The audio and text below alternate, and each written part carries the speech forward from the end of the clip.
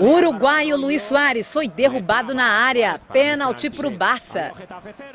O argentino Messi cobrou com extrema categoria 1 a 0. Soares ampliou. Neymar driblou o zagueiro e marcou um belo gol.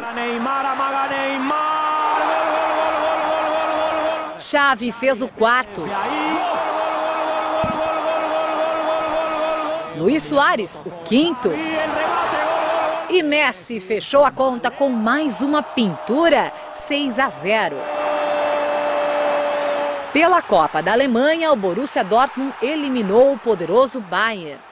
Mas quem saiu na frente foi o time de Munique. O polonês Lewandowski chutou duas vezes para abrir o placar. Aubameyang empatou. Repare que por essa câmera dá para ver que a bola realmente entrou. Com o empate, a decisão foi para os pênaltis.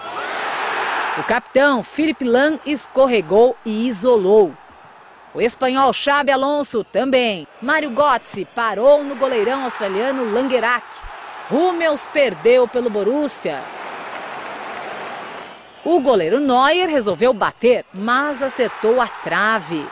Com quatro erros do Bayern e apenas um do Borussia, a equipe de Dortmund avançou para a final.